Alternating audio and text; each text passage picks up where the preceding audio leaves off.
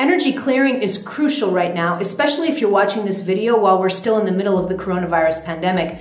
But even if you're catching this video afterwards, here's something you have to remember on your spiritual awakening path.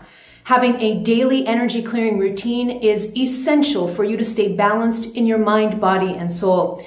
In this video, I'm going to help you figure out what energy clearing really is and why it's important, and you may be surprised by the things I say. And then I'm going to share my top five practical energy clearing practices that you can use in your everyday life, even if you're really busy. Coming up!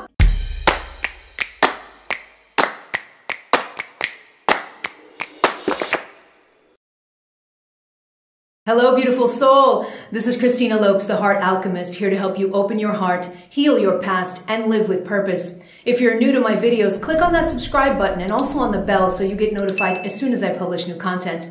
And also follow me on Instagram, where I have tips and advice that you're not going to find here on YouTube. All right, let's get started with this video. Part one is what is energy clearing? Okay, so I, I, see energy clearing a little bit differently from other spiritual teachers. You'll probably hear around, usually what, what uh, energy clearing means is that you're going to get rid of the negative energy and you just want to bring in positive energy. So energy clearing usually revolves around getting rid of negative energy, okay? And that's usually what's seen as energy clearing. But I, I see things very differently. So when I talk about energy clearing, what I'm really talking about, and as you get more experienced on your spiritual journey, you're going to tap into your power as an alchemist, an energy alchemist, okay? And so what you have to remember about energy clearing, clearing when properly done is that energy clearing moves, circulates, and transmutes energy. okay, so this is very different from just saying, I want to get rid of negative energy from me so that I have positive energy. It's very, very different when I say that energy clearing moves, circulates, and transmutes energy. Now, you may be saying, well, this may be just a question of semantics. it's not a question of semantics. The reason that I use a different definition is because when we stick to the old way of seeing things, what we're doing is that we are creating a dissociation or a disintegration in us because we're constantly trying to push out what we call negative and welcoming in positive. So pushing out negative, welcoming in positive. But that always leads to problems because when you start to do this, you don't know how to work with the energy that may be negative. And if you don't know how to work with that energy, because guess what? If you're feeling it, it's in you, so you got to deal with it. and if you if you deny it or reject it or try and push it away, you may, may be missing an opportunity to understand what that energy is doing, what it's informing you of, and also how you can transmute it and move it within your body. So instead of pushing things away and just saying, I just want to clear myself of all the negative energy, no, we're going to come into more mature spiritual shoes and we're going to say, that energy clearing is when I move, circulate, and transmute energy uh, in, in my body. Here's a little mantra that I like to use to reinforce this. So the mantra goes like this. What I deny, I don't heal.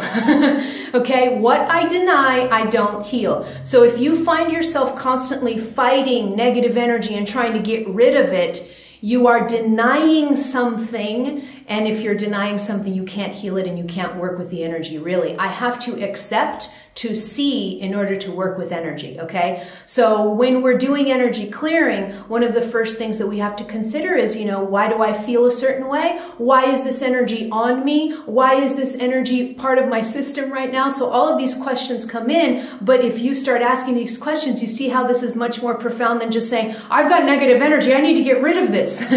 well, no, yeah, you need to transmute it, you need to move it, you need to circulate it, but we also have to understand, wait a minute, I have this energy energy, it must be mine. There must be a part of me, or maybe there's a part of me that I'm not healing, that I'm not working with, all right? And so this second definition of energy clearing allows us to, to do our spiritual work in a sense of integration, accepting all parts of us, not pushing anything away because when we push, we don't heal properly. Now I want to get a little deeper and I want to go into these three words that I've been using, moving, circulating, and transmuting. Okay. So the moving and the circulating means that I must move energy within me in order to clear it. Okay. So clearing literally means that I'm moving energy. One of the key problems with us not feeling good in our energy or having things stuck in us is because the energy stagnates. And when the energy stagnates, that's when we start to feel a little off, okay? So moving and circulating simply means that in order for me to clear, I need to start moving energy in my system. And then the transmutation part is another part of the puzzle that I love to play with. And this is, I'm going to give you one of the cardinal rules of an energy alchemist, okay? So here's a ding ding pro tip. Cardinal rule of an energy alchemist is that the energy alchemist never wastes energy. the alchemist never wastes energy. So, whereas before we used to think that energy clearing, let's just get rid of the negative, let it go, get rid of it. An energy alchemist understands that even the negative is energy.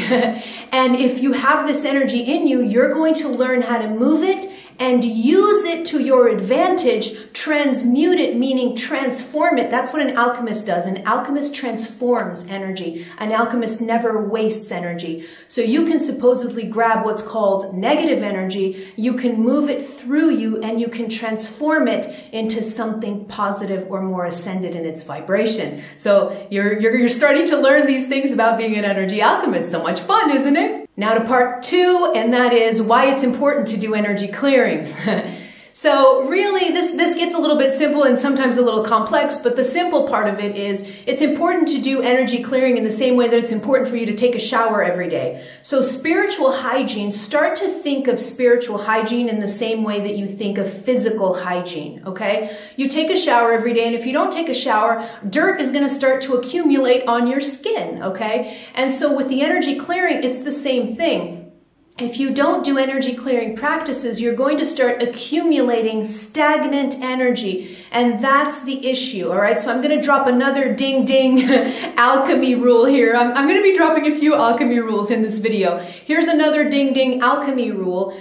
And that is this, that energy wants to move. Okay? Energy wants to move. Energy does not like to be stagnant. And so when it stagnates in our system, that's when it leads to problems. Okay. Energy stagnation is what leads to problems. It's what leads of the, it's what leads to the breakdown of our mind, bodies, and etheric uh, energy fields. Okay. It's stagnation of energy. It's not the energy itself. So our, our energy doesn't start to break down because I'm feeling anger or sadness or whatever other negative emotions people, people give these negative emotions. I'm using air quotes because there really is no such thing as negative emotions. But Let's say you're feeling anger. It's not that anger itself is what's breaking down your system. That's not true because if anger is circulating, just as an example, if anger is circulating, it's eventually going to circulate and be transmuted. The problem occurs if you have anger within you that stagnates and stops somewhere. That's where the breakdown is going to start to occur in your mind, body, and etheric uh, layers. Okay. So the crucial component about energy clearing is it keeps keeps your energy moving. It keeps the energy constantly in flow, which is the natural, which is the nature of energy itself. It likes to move. And so as you move energy, circulate and transmute it, you keep your vibration high. Okay. And this is crucial, crucial, ding, ding. this is crucial for highly sensitive souls, especially empaths Energy clearing is even more crucial. If you watch my videos, you're probably a highly sensitive soul, and it is crucial for highly sensitive souls to have a daily energy clearing practice because what happens is the more sensitive we are, the more we not only have to contend with our energies, but we also have to contend more with the energies of the world that sometimes get gets projected onto us. And if we're not very good at clearing, if we don't know we're empaths, then all of that gunk can start to accumulate and stagnate in us. Okay. If you're not sure if you're an empath or a highly sensitive soul, I'm leaving a playlist, an empath playlist in the description box below where you can go into that in more detail. And here's another energy alchemist uh, uh, rule that I'm going to drop here. Ding ding, another rule that I'm dropping here. And it pertains to why this is so important to clear your energy every day. It's because an energy alchemist never carries anything. They don't carry anything. okay, so a master energy alchemist will not carry burdens. They don't carry any loads. They don't carry energy that, that's stagnant. They don't carry anything because the alchemist is always in a state of moving, circulating, transmuting energy, moving, circulating, transmuting, transmuting energy. Okay? So here's another rule that may come in handy with you. When you start to feel yourself heavy, you know what that feels like, right? You're feeling heavy. It's like you feel depressed. It's like you want to lay on the couch all day long. When you feel your energy is off, you may be carrying energy. And you're going to remember this rule of the alchemist. Don't carry energy. You know how to move and circulate. And if you don't know, I'm going to show you in a little bit move and circulate that energy and transmute it, transform it into something of more higher vibration. Okay, so don't forget that rule about the energy alchemist. Now to part three, and that is my top five energy clearing practices. now, what you may notice from this list is that it may be a little bit different from other spiritual teachers in terms of clearing energy because some of the recommendations I give you, they may not look like energy clearing exercises at all, but they are. Okay, so here are my top five spiritual clearing or energy clearing practices that you can do every day. The first one is pure intention. it doesn't look like you're doing anything, but you are, okay? Pure intention is so powerful. That's why I put this as number one because pure intention is, I was going to say the most powerful, but they're all important, but pure intention is crucial. You have to know who you are on a soul level. You have to understand your sovereignty, your power, and you have to understand your power of awareness and intention. When you intend something, beautiful soul, and so it is. Okay? So the power of intention is a crucial first step in clearing your energy or in healing, really, in healing work too. I talk about this in healing work. But specifically today, we're talking about energy clearing. Intention is crucial, absolutely crucial. The moment that you say out loud or in your mind, the moment that you say, it's my intention to clear my energy, it starts to happen. Okay, so pure intention is the first, it is the most important, and you also have to remember that pure intention means that I take full responsibility for the clearing of my own energy. Okay, there are a lot of practices out there where to clear your energy, you're constantly calling on angels and guides and all of that, and I will talk about that in a little while. But in this first one, you have to remember that you are 100% responsible for clearing your own energy. okay? You can do this. You're powerful and your intention is what starts the process, okay? So you got to take responsibility for clearing of that energy and all you have to do to take responsibility is just say every day when you're doing your energy practices or when you start to do specific practices, I'm going to talk about them more in next in the next ones. But when you start to do that work every morning or every night, when I, I recommend you do your energy clearings in the morning, you can do them more than once though but in the morning is crucial because you start off your day the right way, okay? And so we, you always want to start energy clearing with pure intention. And it could be something like literally as simple as I intend to clear my energy. It is my intention to clear. Or just, you don't even have to say it's my intention. You can just say, I clear my energy now. you see, it could be something as simple as this, okay? And then you can pair that statement with a visualization. So sometimes what I'll do, I'll just close my eyes or I'll keep my my eyes open depending on how good you are at visualizing, all right? So when you when you get better at visualizations at using your third eye, you're able to visualize while your physical eyes are still open. But if you have difficulty with visualization, you can just start practicing with your eyes closed and you can just repeat, it's my intention to heal, it's my intention, sorry, it's my intention to clear my energy field. And as soon as you say that you can just visualize a shower of light coming through, helping circulate the energy, helping move the energy, and it goes, just goes through your body. Okay, so you can do that as you're you're launching the intention to heal all right? So to to clear why do i keep saying heal today? Most of my videos are about healing that's probably why so when you launch the intention to clear, it is so. All right. So that's the first practice. The second practice is introspection and self-awareness slash self-awareness. Okay.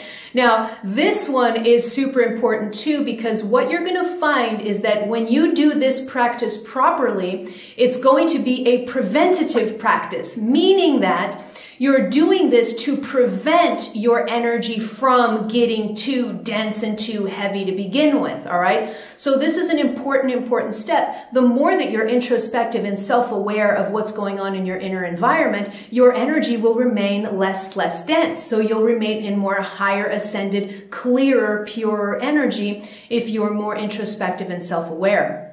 So what I mean by this is you're going to want to pay particular attention to the two centers in your body that contribute the most to the overall vibration of your electromagnetic field. And that's your mind and your heart, especially your heart. Your heart uh, emits a field that's 50 times stronger that of the of the mind, okay? But these two these two fields, these two centers, they contribute the largest to the overall vibration of your electromagnetic field. So that means that you're going to, to be self-aware means I'm going to be aware of my thoughts and I'm going to be aware of how I'm feeling. So feelings, thoughts, okay?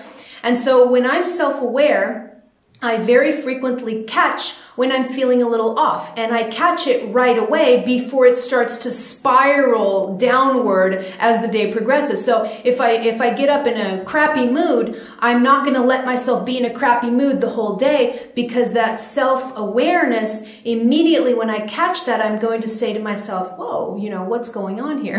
okay? So Self-awareness, introspection is a beautiful preventative way of having to clear your energy constantly because you're going to be the gardener. I love to use this. I love to use this, this mantra. Be the gardener of your heart and mind. Okay. And what does a gardener do? A gardener goes around and they, you know, they'll, they'll trim plants and they'll put fertilizer in the ground and they'll make the gardens look beautiful. They tend to the garden so that it looks beautiful. You have to be the garden of your mind and of your heart also, okay? Much more of your mind because your heart, it has an expanded view that the mind doesn't. So the heart knows how to tend to itself, but mostly be the gardener of your mind, meaning become more and more conscious of the repetitive thoughts that go on in your mind.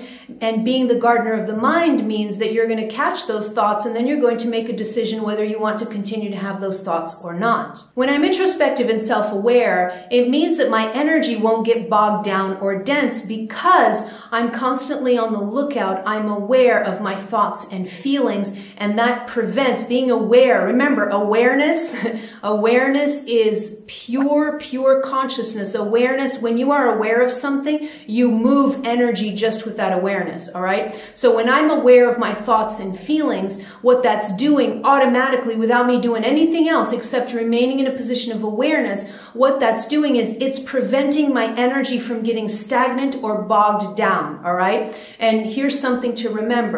Stagnation, ding ding, Stagnation only occurs when I'm unconscious of something.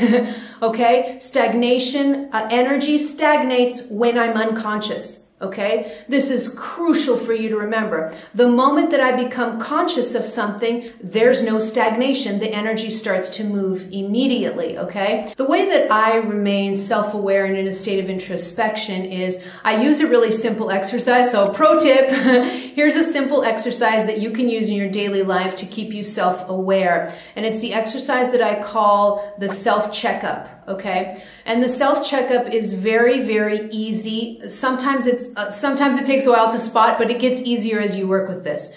So what I do is when I wake up in the morning, one of the first questions that I ask myself, you can put your hand on your heart as you're doing this. So you can literally open your eyes, you're still in bed, you're waking up, you put your hands on your heart and you say out loud or to yourself, how do I feel?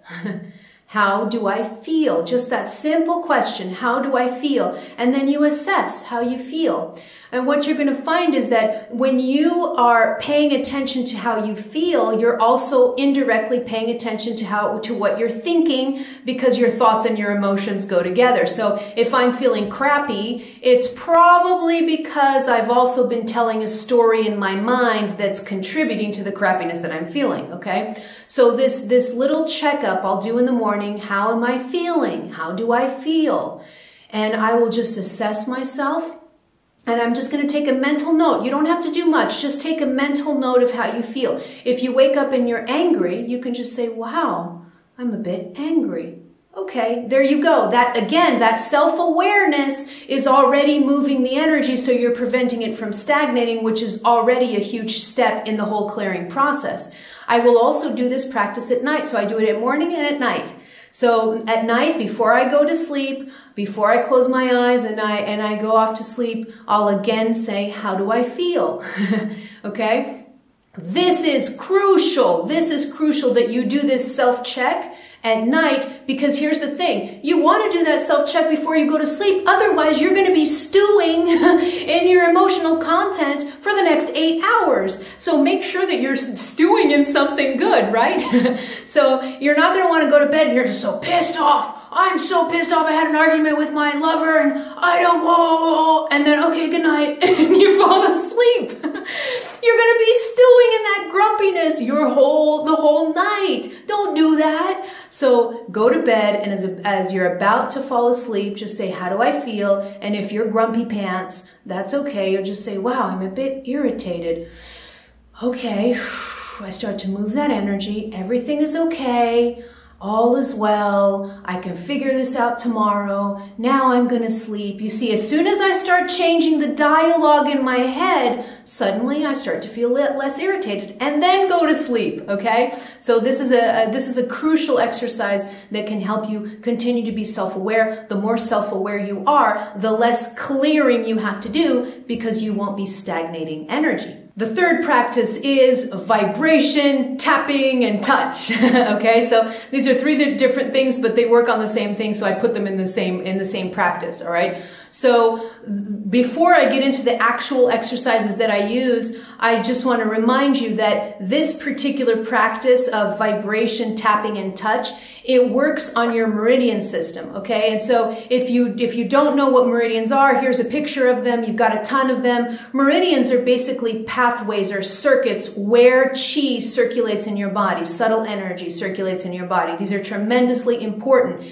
in the circulation of your subtle energy, okay? So this practice right here, these exercises that I'm going to, to show you, they work specifically on the meridian system. The more that you can keep energy circulating in your meridians, the easier it is to clear, move, and transmute energy. Okay, so the vibration piece is basically what you do is when you vibrate your body, you're moving energy. Vibration is very important in the movement of subtle energy. So vibration could be something as literally you having a vibrator like one of those massagers and you just move it along your body. You can do it that way. Or you can do just something simple like I'll do in the morning. I'll, I don't know if you can see it, but I'm to, I'm to put my feet, I put my feet on the ground here. My heels are nice, nicely sinking in. And then what I'll do is I'll just make my body just nice and relaxed and I will start to move, vibrate.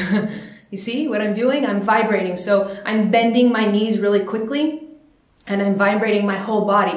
Sometimes I will do this. I'll do this vibration, this up and down vibration. I'll do this for, I'll put on a music track and I'll do this vibration. This is something I learned in, bio, in bioenergetics. Uh, if when I start to do this vibration, sometimes I will vibrate like this for a whole uh, song, a whole track a whole track okay so this vibration anytime that you do um, anytime that you do vibration like this what you're doing you're helping the meridian system uh, move move energy okay so vibration is crucial you can add that to the practice to your practices now to tapping. Okay, so tapping's used a lot. I love to use tapping routines in my daily energy clearing. And tapping is where you're going to start tapping. See, I'm tapping on one meridian point right now. uh, I'm not going to explain it because you're, you're going to look up these tapping routines, but tapping is you're going to locate certain meridian points. And when you look up these, these tapping routines, you're going to know where to, where to tap. And so you can tap like this. Sometimes you tap like this. Sometimes you can tap with your whole hand or your fist, like on your chest. I tap like this on my chest to circulate energy in the heart chakra. Okay. So you can do, this is, this is tapping routines. There's another tapping routine where you're tapping up here and you go around your face, tap, tap, tap, tap, tap, tap. Okay. So Tapping routines are also great because again, you're working on specific meridian points. When you work on these meridian points, energy starts to circulate immediately. Now, the my favorite routines, tapping routines that I love are from the energy healer Donna Eden. Okay, so look up Donna Eden on YouTube. Just look up Donna Eden energy routine and you're gonna find a ton of her videos. I love her. She's got great, great tapping routines and I use some of her routines every day in the morning. Now for touch. Okay, so touch means that you're gonna run your hands along your skin in different ways, okay? Now, I use two different types of touch. I use um, medium to, to um, deep pressure or touch, and then I use light touch in my routines, okay? So the way that I use touch is, uh, for example, when I get out of the shower and I start to moisturize my body, I'll moisturize my body slowly using firm pressure, medium to firm pressure, and I run through my whole body doing my moisturizing routine, all right? When you touch your skin, you're again helping the meridians, which are right here. the skin is crucial in, in, in working with meridians. So when I, when I move my hand on my skin, I'm helping the subtle energy move, all right? So that's one routine I do when I get out of the shower, just moisturizing my whole body. And then another routine that I do in the morning when I'm doing my morning routine is I will do light touch. So I, I'm dressed and I'm just doing my morning routine and I'll start to just run my hands lightly through my body. So I'm giving you an example here. I'll just run my hands through my arms, through my face, through my head, down my shoulders, down my chest, down, down, down my legs, okay? So I run my hands lightly over my skin, all right? So light touch is also another way of bringing in a good circulation of chi in your meridians. The fourth practice is body movement, okay? So if you haven't caught on yet, the body, if you move the body, in order to move energy, you've got to move your body, all right? You don't have to. I could be sitting in meditation, not moving anything at all, and I could still be moving energy with the light of my awareness. So it is true that I could move energy without moving my body, but if I move my body while I'm moving energy, it makes it even more powerful, okay? So body movement is crucial. The more that you move your body, the more the energy will circulate, the less likelihood it will stagnate in your system. You've got to remember that your body is your most cherished spiritual tool. okay? So a lot of spiritual tr- traditions reject the body as something lowly and something that's not good and something that you should be running away from. I disagree completely. Your body is your most cherished spiritual tool and you've got to know how to use it. Okay. So, and, and how to keep it well. So body movement is crucial in a daily energy clearing routine. And that could be something like you going every day for a long walk. So it could be something lighter like that. Or it could be you running up and down stairs like I love to do. okay. So you want to mix up the types of movements. You can go out for a run or you can go out for a nice slow walk or you can literally run sprints up and down the street. You want to mix the intensity of the body movement from something more leisurely and slower to something faster like sprinting or stair climbing or things like that, okay? You want to keep your body movement routines varied. But the bottom line is you just want to move your body every day. So here's a, here's a little pro tip, pro tip that I have for the really busy people who sometimes don't have time to go walk, you know, a couple of miles in the forest every day, all right? keep around some kettlebells. okay, kettlebells. If you don't know what kettlebells are, go look them up. Kettlebells are amazing, amazing. It's probably the only piece of exercise equipment that you need in your house. And I love using kettlebells because what I do is I will literally be sitting at the computer, writing, whatever, preparing videos, doing whatever. And then I'll stop and I'll take breaks and I'll get up from the chair. I'll grab a, a kettlebell and I'll start doing some kettlebell swings. I'm not going to tell you what kettlebell swings are. You can look it up yourself. But kettlebell swings, I'll do, you know, I'll do a few, whatever, dozens, however many I can do, because if, if the kettlebell's heavy, this is going to be a, a powerful exercise. But I basically pause to swing the kettlebell and then I sit back down and I continue working. you see, so I'm constantly moving my body. Even when I'm in front of my computer, I don't stay there for very long. So my, my daily routines involve movement. I always incorporate movement in my daily routines. I do not, well, I'm not going to say I do not because I've done that before, but I rarely spend multiple hours in front of a computer without moving, okay? Rarely, and you should do that too. Don't do that. Take multiple breaks, either have some kettlebell swings around or just get up, do some vibration, shaking around, ah, shake your body, move your body, go do some stairs, come back, whatever it is, move your body a lot throughout the day. And as you do that, chi is going to circulate and it's going to keep your energy clearer and it's going to prevent it from stagnating. The fifth practice that I use is asking for assistance. And the reason that I left this one to last is on purpose. because I want you guys to master the art of energy clearing without using external support. So I want to train you. I want you to get trained in being a sovereign, powerful spiritual being who is 100% responsible for the clearing and the gardening of their mind and their hearts and the clearing of their energy. Okay. So all these techniques that I've been mentioning to you, they are all within your power. But then we also can ask for assistance. Okay. So, so this isn't contradicting my other recommendations. Yes, I ask for assistance all the time. But the reason I brought the other practices up first first is because when I ask for assistance now, I ask for assistance as a way of my guides, my angels, archangels, whoever you want to work with, or source or God energy if you don't want to work with any specific uh, angels or guides. Just call on the energy of source, of creator, of God, whatever you want to call it. The reason when I call for assistance now, I don't call for assistance from a victimized position, okay? So when you're still in victim consciousness, you're constantly looking for angels and guides to rescue you and take this energy out of me. No, no, no, no. Now you're in a power state, which means that I'm still going to ask for assistance, but I'm going to ask for assistance as a complement to what I'm already doing, okay? You see how different that is?